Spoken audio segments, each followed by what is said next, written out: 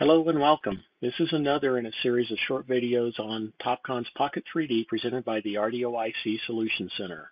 In this short video, we will go through the steps required to launch the GPS base station. We have already created our project and entered our control for this project into the data collector.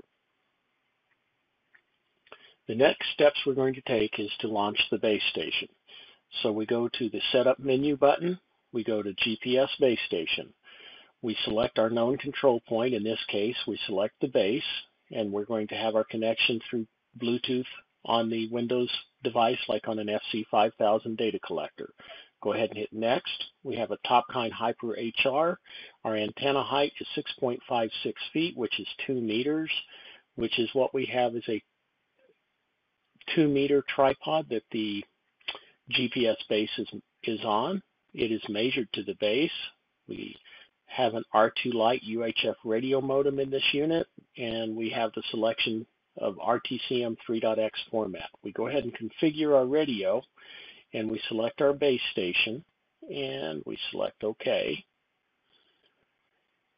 And it'll connect to the base station, and in a moment we'll get the channel number and all of the other settings. It's wise to take a picture of this with your phone so that you'll have this when you get ready to hook up your rover so that you'll know what your channel and what all of the settings are. And if you're used to some of the Topcon equipment, these are some new features that we'll go over in another video on the R2 Lite um, internal modem on the Hiper HRs. So let's go ahead and set this as our channel.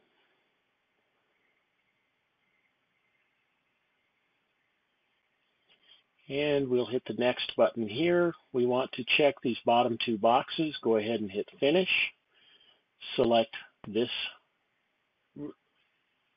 serial number again for our base station. Hit OK.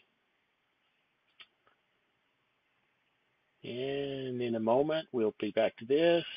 Base started OK, and it'll go back to our main screen, and we're ready to connect to our rover and do our localization. Thank you for watching.